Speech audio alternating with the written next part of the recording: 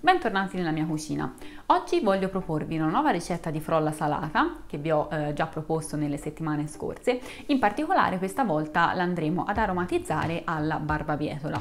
Questo lo si può fare se si ha a disposizione della polvere di barbabietola essiccata oppure nel caso in cui si abbia la barbabietola eh, cotta, quindi lessata, andremo a ridurla in purea e ad aggiungere questa purea al nostro composto.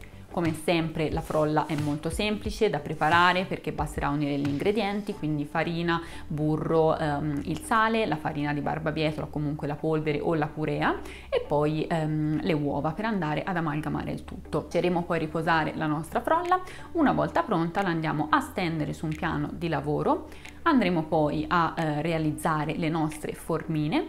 Prima di infornare a 180 gradi forno ventilato per una decina di minuti andremo a spennellare con del latte la superficie dei nostri biscottini e questa volta io aggiungerò dei semi di papavero bianchi o comunque i semi che abbiamo in casa a disposizione. Anche questi sono dei frollini ottimi per un aperitivo, per un antipasto, che si conservano per qualche giorno e che sono un po' diversi dai classici aperitivi o comunque antipastini finger food a cui siamo abituati. Vediamo insieme come prepararli.